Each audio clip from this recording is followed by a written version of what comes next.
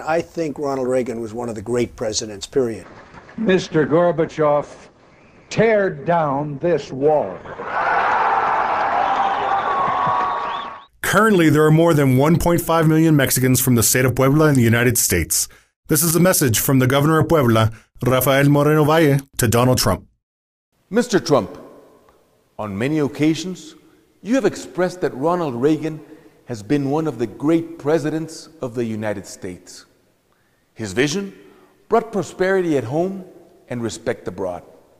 In my opinion, the most memorable moment of his presidency took place in 1987 when he told Gorbachev to tear down the Berlin Wall.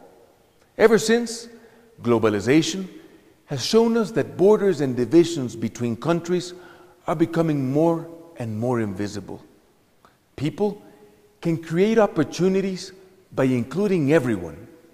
Therefore, I strongly encourage you to stop your insults that only generate resentment and hatred as can be seen in your political events.